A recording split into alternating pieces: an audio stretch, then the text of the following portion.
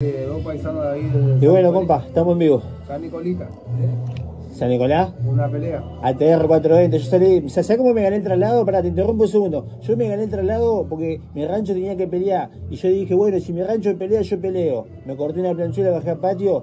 Y en resumida cuenta, peleó mi rancho y uno la copeta, cagó copetazo, engomó el pabellón. Y esa noche me sacó el traslado. Me dice, flaco, te tengo que sacar el traslado, ¿por qué tan, tan rápido? Y porque si no te saco, me- con vos se va a pinchar, si tu rancho peleó, vos te vas a obligado a pelear, así que armamos uno que te va a traslado para Buenos.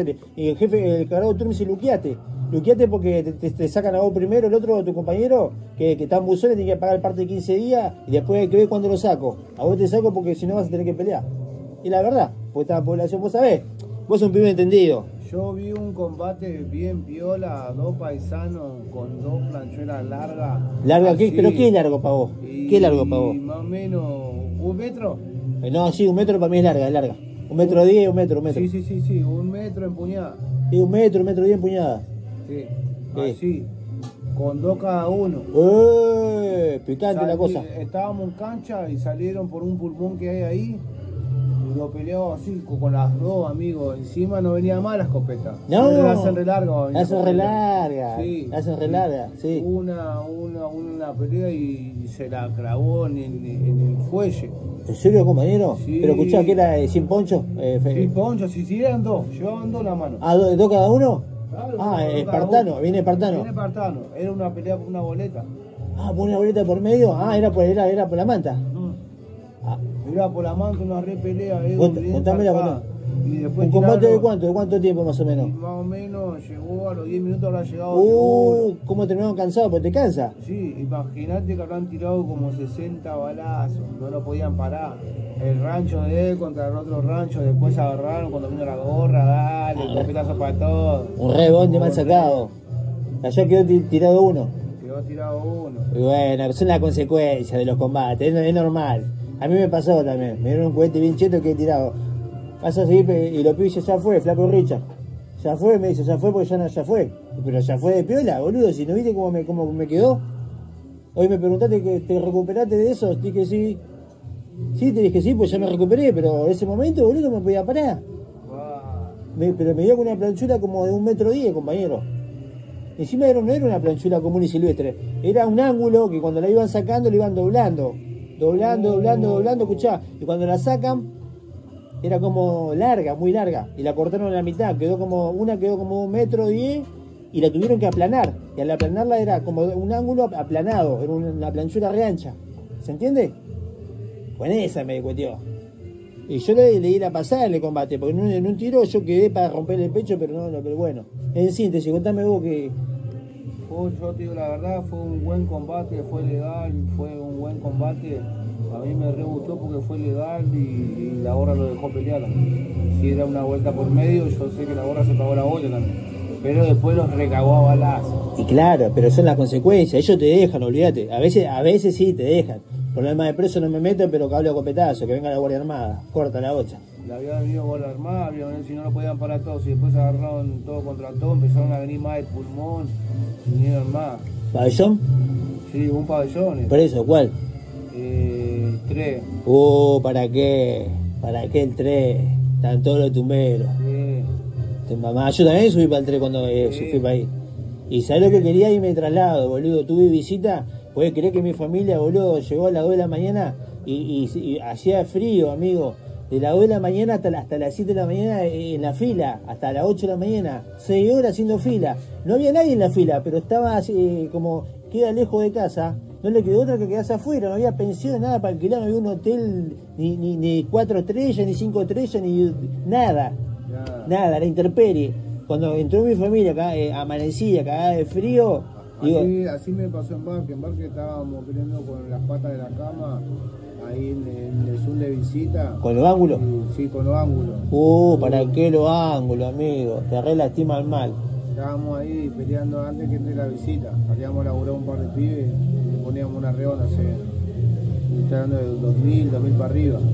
Así estaba Barque. Sí, Tierra ¿no? de nadie. Tierra de nadie. Cuando apenas se inauguró, 2003. Sí. 2003 estaba TR. Mm.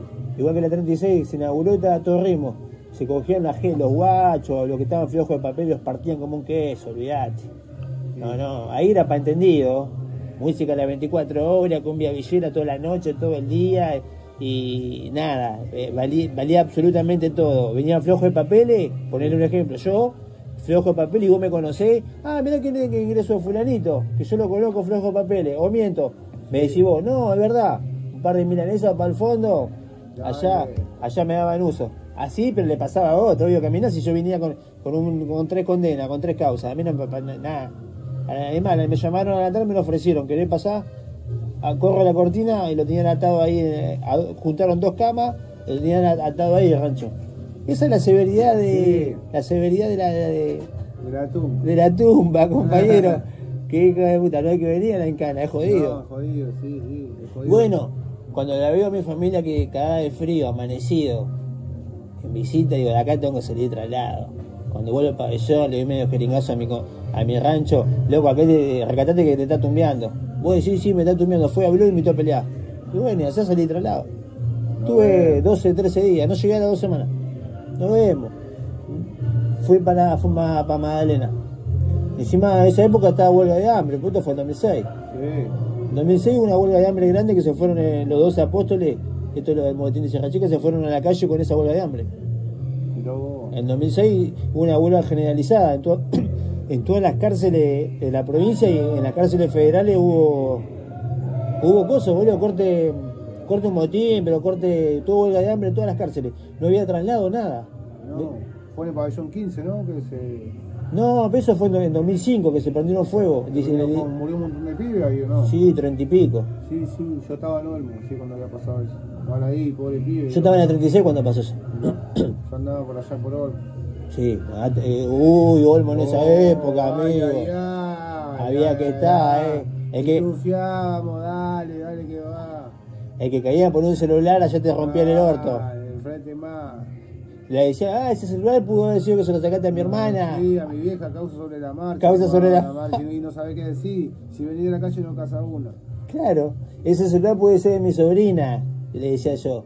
Y vos le decías así, ¿cómo le decís vos?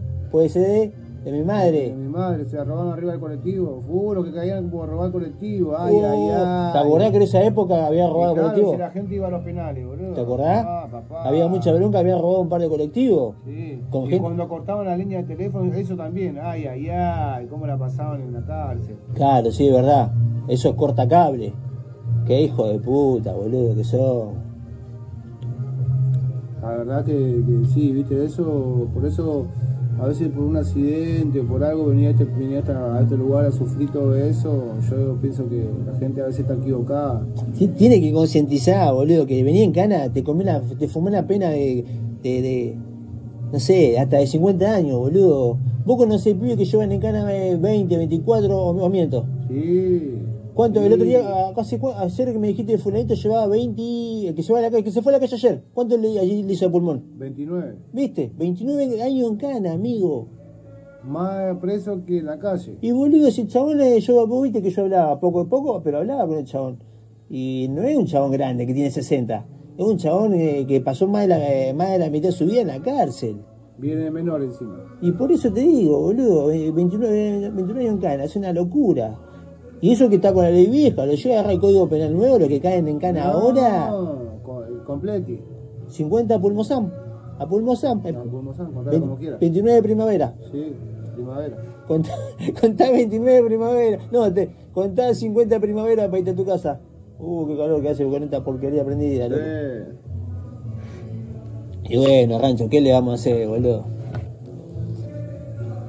Allá en la ciudad está lloviendo, me mandó un mensaje mi vieja recién. Está lloviendo, te comunicaste vos para la ciudad. No, todavía no. Acá estamos a 700 kilómetros, estamos re lejos. Bajón. Así que bueno, tenemos una buena mañana igual. Sí, sí, sí. Que hace frío. Al mal tiempo, Buena cara. al mal Ah. tiempo buena cara, compañero, tal cual. Y bueno, está heavy metal en la cárcel, compañero. Hay que cuidarse. A ver, cuídate. Hay que cuidarse. Nos vayamos. Hasta que nos vayamos. Ya se están yendo los pibes que llevan en una banda como nosotros, se están yendo. Bien, bien, eso Al, bueno. al- al hombre de acá, que le lleva más de 20, ya se va, le falta poco. también. Al hombre de acá le lleva una banda. Y le- 26. 26 al pulmón. A Pulmeti. Fua, amigo, Del año 96 y pico está. tumba mal. A- eh, El hecho que pues, fue en, el noviembre del 96 fue por el que está en canal. Dos, dos goles de Cobani. Ay, ay, ay. Hijo de su madre, boludo. Y bueno, yo de haber sabido que iba a pasar 20, 20 años, para mí una banda. Para vos también, 20 y pico que Sí. lleva vos, es una banda. Pero de haber sabido, yo capaz que me hubiese portado bien, loco. Sí, tantas cosas que pasar y que tenés que seguir pasando, ¿no? Y encima la de todo, todo lo que le afecta a la familia, más que nada, más que nada la familia, porque de última acá, ya estamos acá en el baile y te tenés que fumar la condena. Eh, pero la familia, ¿cómo le hace entender que tenés que pasar 20 primavera acá adentro? O 25 Eh. primavera. No. Nah, salís ya del perro, ya te dejó tirado, se murió el perro. Sí, aparte empezá a perder familiar, Y esa- eso empezá, tiene a que- perder, empezá a perder todo, compañero. Vos vos ya sabés. Sí, bueno, te dejo hablar porque por eso mismo, boludo, porque me agarro la cabeza. Sí. Yo perdí mis, mis, mis cuatro abuelos estando en Cana, boludo. Sí, yo perdí mi padre, perdí sobrino, primo. No. Mirá mi, pri, eh, mirá mi tío, eh, 20 años a pulmón en, en la cárcel, se va a la calle, quiere laburar legal, pasan un par de pibes en moto, lo matan, pum, ¿En pum, serio? pum, pum, un par de tiros. Y y encima se confundieron, se volvieron de vuelta los pibes, lo miraron y dijeron, no, este no es. Ah, no, pero ¿cuánto tuvo en la calle? 20, eh, eh, un mes. Un mes, amigo. No, amigo, no me la conté, boludo. La esa la se volvieron los pibes de la moto de vuelta y dijeron, no, este no era. No, boludo. La... ¿Vos estabas en Cana? Sí, yo estaba en cana, boludo. ¿Ah, Mi tío, mi tío me dijo, ve, voy a salir, voy a hacer la cosa bien. Claro, Ya fue, me dijo. 20 a pu- así, pulmón. a 20 primaveras. Sí, primavera, contala como quiera. Porque acá contamos las primaveras. Yo cuento las primaveras. Eh, es un poco triste porque el que te escucha dice, este cuenta la primavera, está loquito. Pero es verdad, tenés que fumarte 20 primavera, 15, 30, las que te dé el chabón. Las que te dé el chabón, para que ya viene el hombrecito y, y nos vamos. Estamos, estamos ahí. Estamos ahí. ¿Qué te iba a decir? No, no, está heavy, está heavy, eh, de verdad. Eh, está heavy las condenas más que nada. Y la severidad que se vive en todos lados también es, bastante difícil. Yo lo veo difícil. Para mí fue. Yo ingresé y tuve que. Te, te- mirá, desde comisaría que me tenía que venir peleando con metal porque si no te querían quebrantar. Y una vez que te quebranta ya es irreversible. Así que nada, es todo un tema. Sí, olvídate que sí. Así que bueno, la verdad que una mañana campera. Una mañana campera, mañana de campo. Ojalá que pronto volvamos a la ciudad, boludo. Ya estamos. Ya estamos, nos falta, estamos en Se el- están yendo los pibes igual. se están yendo lo que llevan una banda como nosotros. Bueno, ¿qué le vamos a hacer, no? Hay que cuidarse de estos lugares, evitar la cárcel a cualquier precio, estar incluido en el ámbito laboral, educativo para no venir en cana. La mala junta también te traen a estos lugares. No. Sí, bueno, un saludo, saludo muy cordial. Bueno, eh, finalizo saludando a Julián Andrés de Parque Patricios, de Cava. Eh, muy feliz cumpleaños, que logre cumplir muchos años más y pueda pasar un excelente lunes 25 ya. Bueno, que cumpla muchos años más y un saludo para todos a todos los que me apoyan, por supuesto, y a los que no me apoyan también, porque de última hay que saludar a, los que a los, a los que están un poco dolidos. No, no sé, porque, pero bueno, qué sé yo. O sea, ellos tendrán sus buenas razones. A mí no me, me importa poco igual. Un saludo, eh, Julián.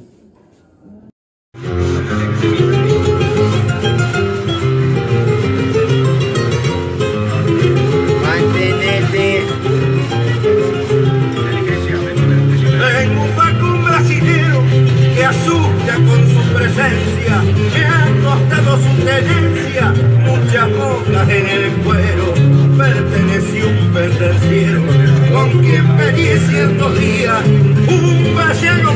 tenía asustado y con razón, al pueblo de Yaguarón y en la policía.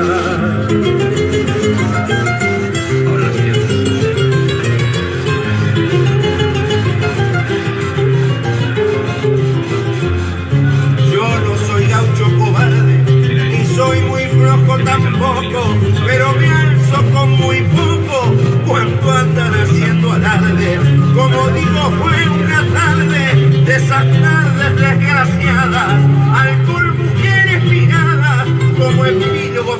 Amen.